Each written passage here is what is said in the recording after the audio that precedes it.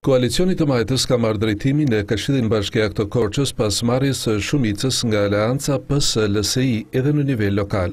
Unifikimi i votave të dy anëtarëve të Lëvizjes Socialiste për Integrim si dhe një anëtar i Partisë Demokratike bashkë me një tjetër të Partisë Bashkimi Liberal Demokrat ka lënë të djathtën në minorancë me nëntë këshilltarë më pak se koalicioni i së majtës. Këshilltarët e LSI-së kanë argumentuar largimin e tyre nisur nga nënshkrimi i koalicionit parazgjedhor PS, LSI. Në kuadër të kësaj marrëveshje në zbatim të kësaj patjetër dy këshilltarët e LSI-së të kësaj të këtij këshilli duke marrë kështu përsipër sot të deleguar nga zonja Golloborda vendimin e saj kalojmë që sot në koalicionin e majtë. Mund të pranojmë një identitet të përafërt midis Partisë Demokratike dhe Partisë së Punës së Shqipërisë. Zotëri ato fjalë merri dhe mbaji në sirtarin tënd. Qëndrimi im është tërësisht ideologjik. Kam qenë pjesë e Lëvizjes Studentore të Dhjetorit.